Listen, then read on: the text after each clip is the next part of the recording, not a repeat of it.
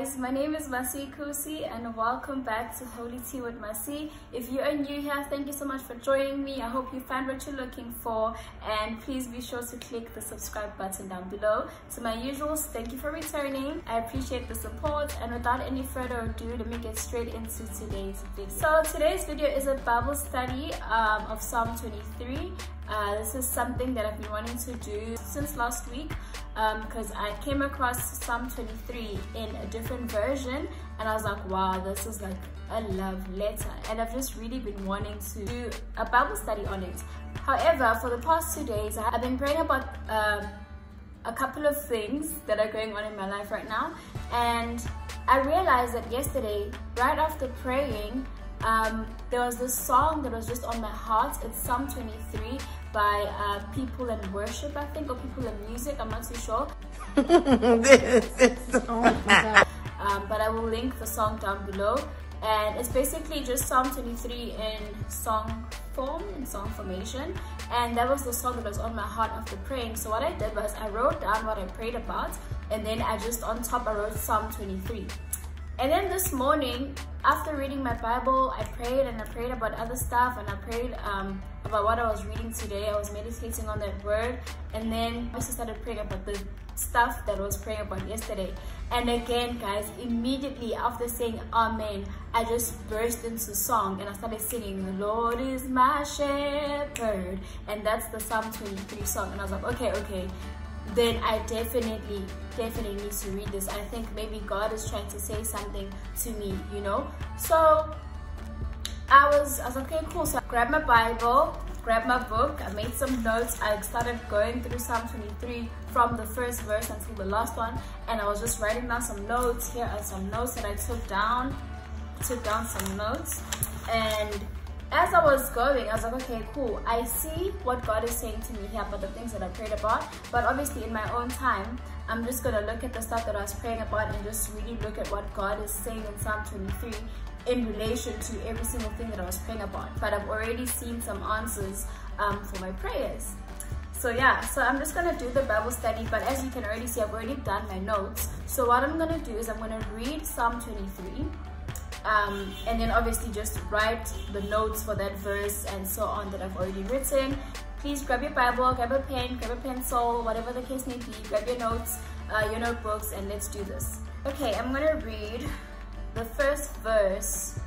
It says, You, Lord, are my shepherd. I will never be in need. What I did there was I wrote down shepherd. What's the definition of a shepherd? What is a shepherd? And what I found was a shepherd is someone who guides and directs towards a certain direction. And that is what a shepherd does, obviously, a shepherd and his sheep. He guides them and he directs them towards a certain direction. And if God is our shepherd, then that's what God does. He guides us and he directs us towards a certain direction. Why does a shepherd do that? Because he cares for them.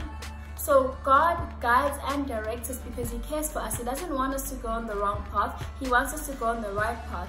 And that is why He will guide and He will direct us. Still in verse 1, it says, I will never be in need. Some versions say, I lack nothing. And I was asking myself, okay, so then why do you lack nothing? And I was like, okay, but then we were just told that He guides and directs, but then why do I lack nothing? And then I started to visualize myself as an actual sheep and here's the shepherd that guiding and directing me. I'm a sheep, like an actual sheep. if I'm a sheep and I'm busy going around, man, man, you know, and the shepherd is saying, okay, here's some water, here's some grass, eat, drink, here's your food, here's your whatever that you need, then obviously I lack nothing because he is there. He is telling me exactly where to go. He is a shepherd. He knows his job. He knows exactly where I can find the best grass. He knows exactly where I can find the best water. And that is why I lack nothing. That is why we lack nothing because Christ knows exactly what we need and when we need it as he is our shepherd. Okay, and then verse 2 says, You let me rest in fields of green grass. You lead me to streams of peaceful water. It starts off it starts off by saying you let me rest. And then it says you lead me to peaceful waters. So what I wrote down there was rest and peace comes from God. And this is for people who are always like, you know, oh, you were supposed to be my peace. I thought you were going to be my peace, but now you're making me angry. Oh, this job was going to be my peace. If you do not have peace from God, you're not to have peace with all the other things and all the other people in your life. So that is what I understood from verse 2 that peace comes from God first. And when you have peace from God, that peace will enable you to be at peace with everyone and everything else in your life. And then I also just noted the part about water. Water refreshes us. When we are thirsty, water quenches our thirst. And that to me he also brought the whole um, thing of Christ being the living waters, being living waters. So when we are thirsty, we get a drink from Christ, our living water, who quenches our thirst forever. If you get your drink from Christ, you don't need it anywhere else because he will quench your thirst forever. When you drink from him, you drink once and for all. The Passion Translation um, with verse 2 says, You lead me to an oasis of peace, a brook of bliss. An oasis is basically a spot in a desert that has water and palm trees and all that good stuff. So you picture a desert, guys. I want to insert a picture. Picture the desert. It is dry all around. There is no water all around. There are no trees. There is no place of rest all around except for that tiny spot. And that is where Christ leads us. When we are in a desert, we are in dry season, we feel like, oh my gosh, things are not going the way that they should be. I'm lost. God, what do I do? God, where do I go from here? What is the next step from here, God? I've heard what you said. I've done step A, but what is step B? God, talk to me. God, help me. God, I am tired. He says, He takes you through that desert and it takes you to the oasis where you can be refreshed, where you can drink water, where you can rest, where your soul can be restored and renewed and revived. And that is also what verse 3 talks about that says that and you refresh my life. You are true to your name and you lead me along the right paths. So there, in that oasis, He refreshes you, He restores your life, He revives you, and He gives you that energy to go, to go on. He gives you that desire to keep on going, and He gives you what you need to survive, and He sustains you, He fuels you in that oasis. What about a brook of, of bliss? A brook of bliss is a stream and bliss is a state of like you know complete and utter joy and what i found on the internet is that bliss is usually used in marriage to describe a married couple. You know that, that they are in marriage bliss but it's also used to describe the happiness of heaven eternal joy in heaven heavenly bliss. And that is where god leads us. He leads us to an oasis of peace and a brook of bliss guys. So not only does he restore revive and refresh he also gives eternal joy in christ jesus our lord so I've basically also just discussed um, verse 3 with verse 2 as one. Um, but another part of verse 3 that I want to mention is that when you once you are revived, refreshed, restored, renewed, all of those things, then you are able to follow the path that God has set before you because now your energy is back. You went from 0 to 100, your energy levels are there, relationship with Christ is there, you are back and you are more ready to follow the path that he has put before you. He's guiding you and he gave you water, he gave you peace, he gave you rest and now you are ready and you are fueled to go on the path that he has set before you. Verse 4, verse 4 says, I may walk through valleys as dark as death, but I won't be afraid. You are with me and your shepherd's rod makes me feel safe. So I'm going to start with the first part that says, I may walk through valleys as dark as death, but I won't be afraid. Passion Translation says, this is the CEV that I just read, but the Passion Translation says that even though the path that you have set before me leads me to darkness or leads me through darkness, I'm paraphrasing, leads me through darkness, fear will not conquer me because you already have. So that means that yes, God will set a path before you that looks rosy and it's basically an oasis. He will set that path before you. However, there are times where that in order to get to that oasis, you have to go through the desert. In order to get to that promised land, you're gonna have to go through the dark valleys. You're gonna have to go through the parts that you don't wanna go through. You'll have to face the things that you don't wanna face. But the psalmist here is saying, even though I have to walk through that path, I will not fear because you are with me and you have already conquered all of these things that I'm facing right now. You have conquered these demons. You have conquered this resistance. You have conquered what people say about me. You have conquered my worry. You have conquered my concerns. So I will not fear. I will just keep my eyes set on where you are leading me.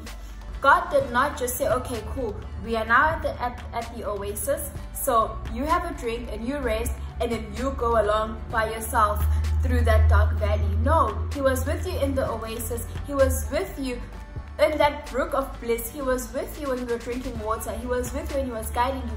And He is still with you through that dark valley, through that path of darkness. And when I was reading this, there's a song that came to my heart by Hillsong. It's called Graves into Gardens. And there's a part that says, The God of the mountain is the God of the valley. And there is not a place where your mercy and grace won't find me again. So that just goes to show, guys, that the same God who was with you in the oasis is the same God who will, who will be with you in the valley. It's the same God who will be with you in the dark valleys. It is the same God that will be with you even then. And I don't know what more you need to hear. Obviously the entire chapter, but you know, that alone is just like, wow, wow.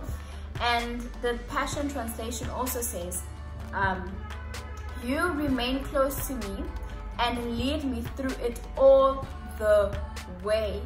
We're still in verse 4. So even in the valley of darkness, he remains close to you and he is with you all the way he did not leave you like i said in the oasis he did not say girl boy you're on your own now. No he went with you in that valley and he was with you all the way. He remained close to you the entire time so that you will get to where he was sending you. And then the second part of verse 4 that says you are with me and your shepherd's rod makes me feel safe other versions say your rod and your staff, they comfort me. So there, a rod is something that looks like a club. I'll show it. It's used, shepherds use it to like fight off wolves or whatever, like wild animals that try to eat the sheep. And obviously that's pretty self-explanatory. God has that rod and he has that staff and he uses the rod to fight off the enemy, to fight off things that are fighting against you, to fight off things that are working against you. And then he uses, the staff has a hook and shepherds use it to, let's say a sheep falls into a hole or ditch, then the staff, the shepherd will use the staff to pull out, to pull the animal out. And that is what God does. When you are stuck, you feel like you're stuck in that valley of darkness, feel like people are just fighting against you, you feel like you're going nowhere, you feel basically stuck and you feel like you're at the end he takes his staff and he grabs you and he pulls you and he carries you where you need to be. I don't know what else you need to know. I don't know. I feel like I just leave it there, honestly. I'm kidding, I'm gonna carry on. So verse 5, and then verse 5 says, You treat me to a feast while my enemies watch. You honor me as your guest, and you fill my cup until it overflows. So there, he treats you to a feast. What is a feast? A feast is a banquet. It has all the food you can imagine, wine, water, champagne, whatever. It has all of those things, you know, people are celebrating. And what God is saying here is that even when your enemies dare to fight you, even when the enemy is fighting against you, even when the enemy is sending traps your way, he's sending hate your way, he's painting you a certain way, I have given you a reason to celebrate. I will give you a reason to celebrate. In the midst of all of that um, drama, in the midst of all of, of this scary situation, in the midst of the storms, in the valley, I will give you a reason to celebrate. I will lay the table before you so you can celebrate. The part where it says, my cup runs over, my cup runneth over. I used to ask myself, what does that even mean? I remember I actually made notes on my Bible a long time ago, not today. And I wrote here Holy Spirit with a question mark. I was like, is this the Holy Spirit? In the Passion Translation, it did say, You anoint me with the fragrance of the Holy Spirit. So He fills you, He fills you with the Holy Spirit. He anoints you with oil, He anoints you with the fragrance of the Holy Spirit. You're just gonna be this glorious person, this anointed person, this happy person, and your enemies will think, Why are we even fighting this person? What's the point of fighting somebody who is so happy, who's full of joy, who's celebrating while we're basically sending a text their way? What is the point?